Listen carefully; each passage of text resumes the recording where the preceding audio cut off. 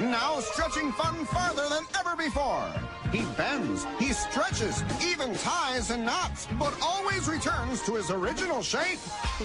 Remember Stretch Armstrong? Well, wouldn't it be nice if our skin would snap back to its original uh, shape after gaining or losing weight, just like that vintage toy. You know, if you've had a baby or lost a lot of weight, you know we're talking about that loose skin. So what's the solution? What's best for all of that stretching? Well, Dr. Bill Johnson of Innovations Medical is here with some tummy show and tell. Hey, Dr. Good J. Morning. All right, Good morning. let's talk about what happens to our skin with pregnancy and weight gain. And Unlike loss. Stretch Armstrong, when we stretch, you know, it, it'll stretch a ways and still return, but our skin gets to the point where it'll stretch so far that it will not, just like this bag, it won't return to its original shape. Okay. So then, if it gets there, we have to do some things to try and help it. All right, that's why you are here. So uh, what, how can we reduce an area with normal skin? Well, if this is a, a normal tummy and they've got really good skin, now we can go in and remove the fat with liposuction, and then what happens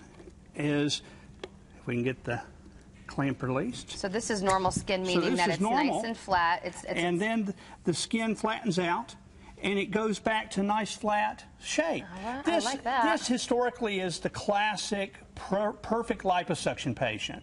Okay. And before skin tightening techniques were along, these were the best liposuction patient because Okay. You go in, remove the fat, and they were nice and flat. Now we're using this as our belly button, so just just for reference for the viewers. And we have a before and after picture that demonstrates this. So somebody that just has a little uh, excess pooch right there that they want excess for pooch, liposuction. and we were able to take that, he great skin, so when we finished our liposuction, we were able to sculpt as well. Yeah. So he goes from being a little paunchy to looking like he has a great six-pack because we can remove that fat Yeah. and that skin flaps right back where we want it. and he achieves that just a little bit extra skin tightening, which is kind of a side effect of the whole procedure. Now, sometimes our skin is stretched to the point that when we remove the fat, the it g- doesn't go down quite as well, So and we end up with a lot of, uh, you know, these clips clean right off beforehand.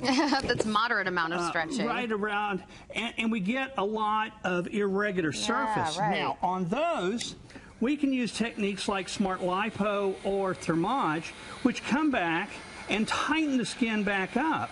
So that now we can make another uh, this person pretty flat too afterwards by using special techniques designed especially for that. And that's what we're doing using a combination of procedures. We use a well, and, and that's where the Smart Lipo comes in as such an important tool. And take a look at these pictures. You can really see how this uh, works here. Yeah, and this is a Thermage patient. Didn't have a lot of fat, but had a lot of loose skin. And you can see that when we're finished with the technique, we've got rid of the loose skin and a really much better, nicer surface. How about when the stretching is more severe? Oh, when you've got a lot of stretching and folks that even have where it hangs over on the bottom, then uh, these folks, you can reduce them, but no matter what you do, you're going to still have a lot of this loose skin. So for these, they're really best to have a tummy tuck where we'd actually go and remove this surface, okay?